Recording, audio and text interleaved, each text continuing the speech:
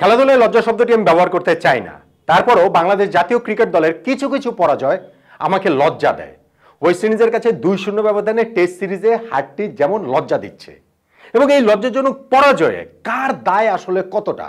Bangladesh cricket board, cricketer, নির্বাচক, coach, অধিনায়ক, সবচেয়ে বেশি দায়ী আসলে কে?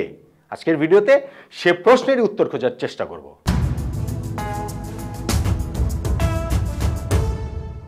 ওয়েস্ট ইন্ডিজের বিপক্ষে টেস্ট সিরিজ বাংলাদেশ জিতবে, অনায়াসেই জিতবে, এমনটাই তো প্রত্যাশা ছিল। কিন্তু সেখানে হলোটা কি? চট্টগ্রামের প্রথম টেস্টের চতুর্থ ইনিংসে আমরা তিনশো পঁচানব্বই রান ডিফেন্ড করতে পারিনি। ঢাকায় দ্বিতীয় টেস্টের চতুর্থ ইনিংসে আমরা দুইশো একত্রিশ রান করতে পারিনি। ফলে দুটো টেস্টে হেরে গেলাম, দুই শূন্য ব্যবধানে সিরিজ হেরে গেলাম টেস্ট চ্যাম্পিয়নশিপে বাংলাদেশের পয়েন্ট রয়ে গেল সেই শূন্য।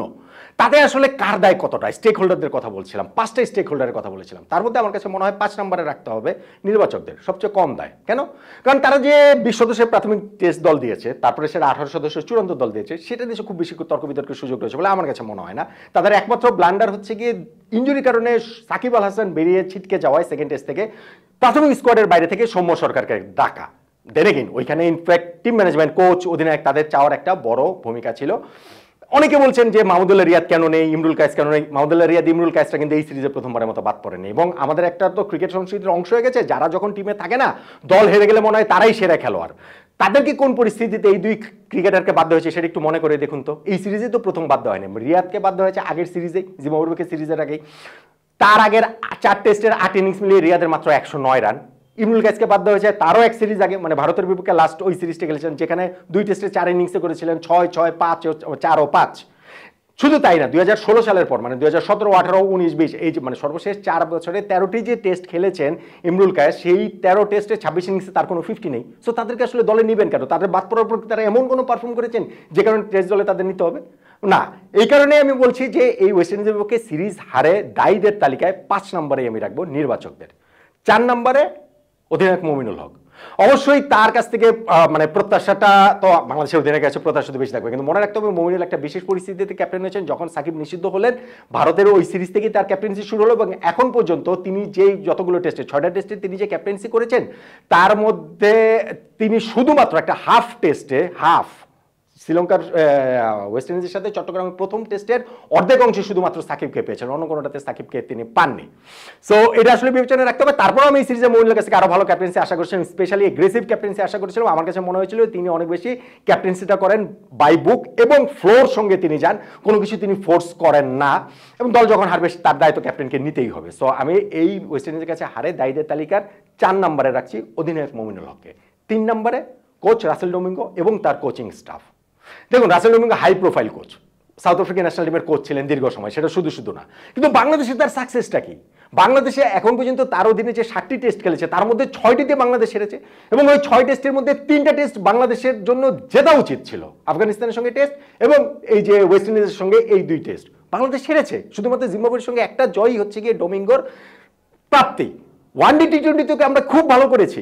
শুধুমাত্র আমি ভারতের বিপক্ষে একটা টি টোয়েন্টি জয় ছাড়া তো এমন কিছু দেখছি না। প্লাস প্লেয়াররা কেউ যে তার অধীনে খুব ভালো করেছে আহমদ করেছে, বিষয়টা তাও নয়। সো আমার কাছে মনে হয় যে এই যে ওয়েস্ট ইন্ডিজের কাছে বিপক্ষে যে বিপর্যয় বাংলাদেশের, তাতে দায়ীদের তালিকায় তিন নম্বরে অবশ্যই কোচ রাসেল ডোমিঙ্গো এবং তার কোচিং স্টাফের সবাই থাকতে হবে।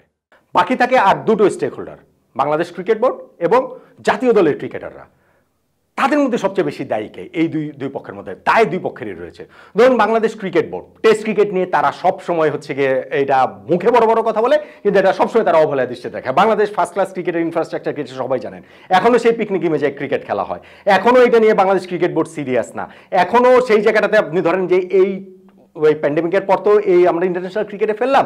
তারপরে কিন্তু হচ্ছে কি ওয়ান ডে একটা টুর্নামেন্ট হয়েছে টি টোয়েন্টি টুর্নামেন্ট হয়েছে। কোনো তো লঙ্গার ভার্সন টুর্নামেন্ট খেলেনি। ওরকম কোনো প্রস্তুতি ছাড়াই তো ক্রিকেটারদের খেলতে নামিয়ে দিয়েছে ক্রিকেট বোর্ড সো তাদের ওই দায়টা অবশ্যই রয়েছে। এবং এখন যে যে হারলো না, কয়েকদিন শুনবেন যে ক্রিকেট বোর্ডের বড় বড় হত্যাকর্তারা অনেক বড় বড় কথা বলবেন। টেস্ট ক্রিকেট আমরা ঢেলে সাজাবো, এই করব, সেই করব। যেটা দু হাজার উনিশ সালে আফগানিস্তানের কাছে হারের পরও বলা হয়েছে। যেটা তার পরবর্তীতে আমরা যে ভারত সফরে গিয়ে দুটো টেস্টে ন্যাক্কারজনকভাবে নাকানি চুবনে খেলাম তিন দিনে হেরে গেলাম, তখন বলা হয়েছে। বলেন তো গত এক দেড় বছর বাংলাদেশ ক্রিকেটে কি চেঞ্জ হয়েছে। এখন বলতে পারেন প্যান্ডেমিকের কারণে এক বছর তো খেলাই হয় না। এখন খেলা হয়নি, সেটা কি ইনফ্রাস্ট্রাকচার তৈরি করাতে কি সেটা বাধা ছিল?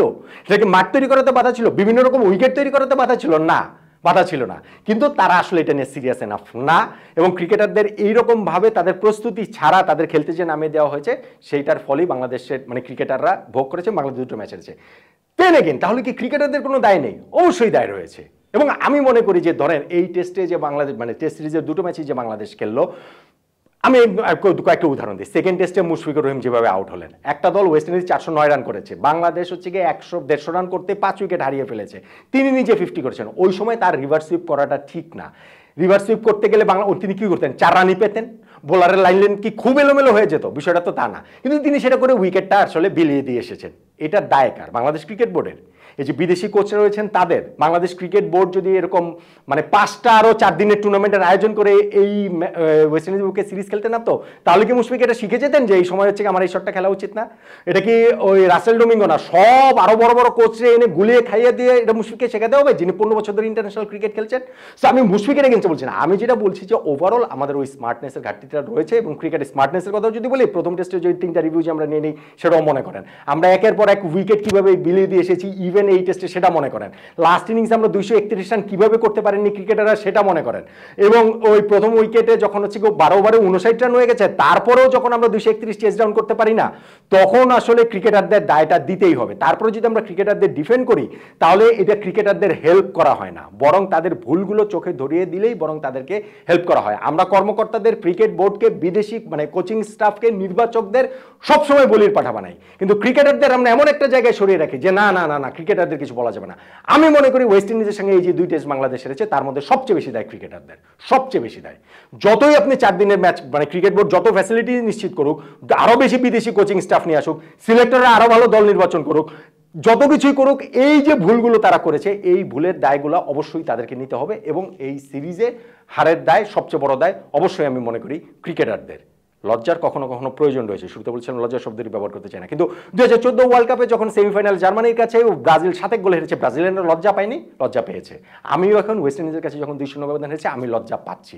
বাংলাদেশ ক্রিকেট বোর্ড এই লজ্জাটা পাক, আমাদের খেলোয়াড়রা লজ্জাটা পাক, অধিনায়ক মহিনুর লজ্জাটা পাক, আমাদের নির্বাচকরা লজ্জাটা পাক কোচ, কোচিং স্টাফরা সেই লজ্জাটা পাক, আমি সেটাই আশা করব। এবং এই সিরিজে বাংলাদেশের পরাজয়ের জন্য আমার দৃষ্টিতে যে পাঁচটি স্টেক হোল্ডার কথা বললাম, তার মধ্যে ওই দায়ীদের তালিকা করলে এক নম্বরে ক্রিকেটাররা, দুই নম্বরে ক্রিকেট বোর্ড, তিন নম্বরে কোচ, চার নম্বরে অধিনায়ক, পাঁচ নম্বরে নির্বাচকরা।